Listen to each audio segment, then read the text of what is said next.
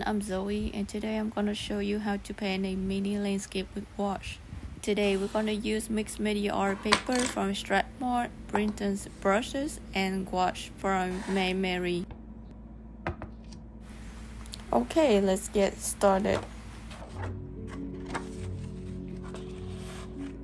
Here I had divided the paper into four equal spaces, each is 2 times 6 inches and I use the paper tape to cover the border.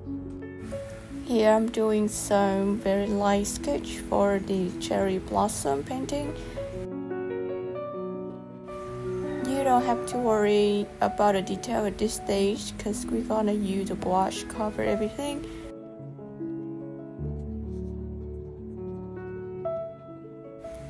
For the sky, I'm gonna use the sky blue, some white, and a little bit of violet.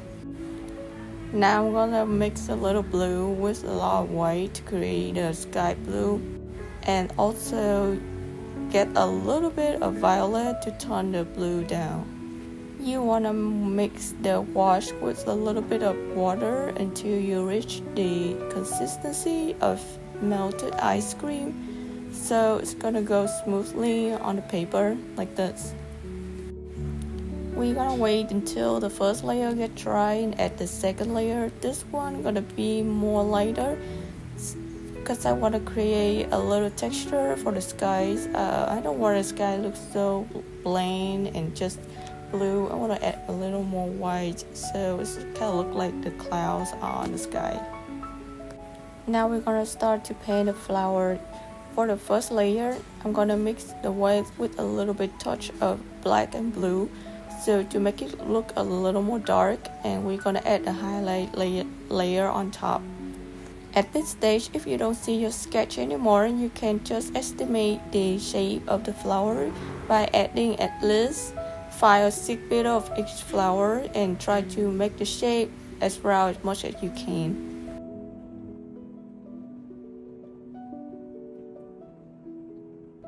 Here I'm using very basic technique to create a cherry blossom so you don't have to worry about at this point your flower doesn't look so round and doesn't look that good.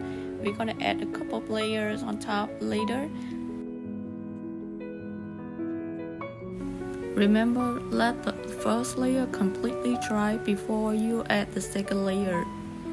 For the second layer, we just use pour white and add more water into it so that we're gonna have a creamy consistency to create a highlight for the petals.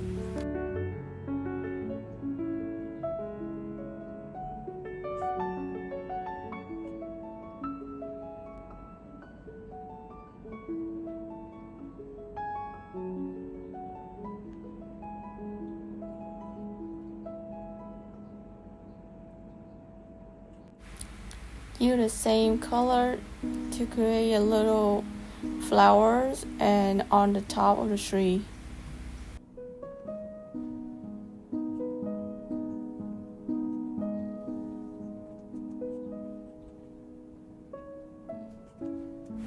Now I'm using yellow ochre to paint the petals.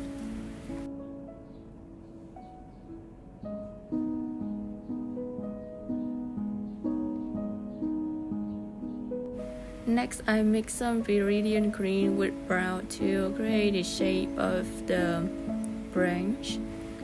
Um, remember, the branch will get smaller to the top and get bigger to the bottom.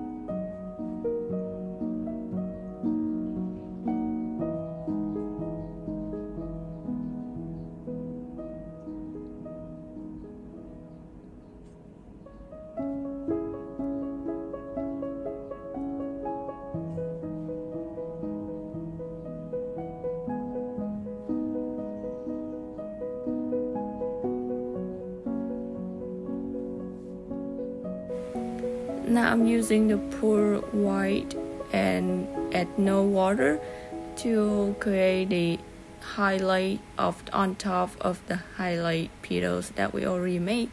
This step will refine the shape of the petals and also the flower. Remember, keep the gray area of the flower. That is our shadow area, so we don't use this way to cover everything.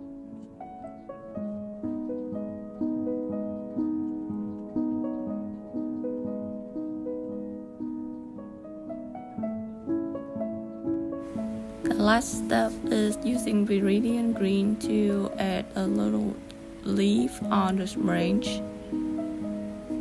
You can mix Viridian Green with a little yellow or white to create a different shade of green so it's gonna make our painting look more looks more dynamic and the last steps I'm gonna use the orange to add a little dot inside the pistils. This is I call the magic touch. It's gonna make our flower more dynamic and prettier.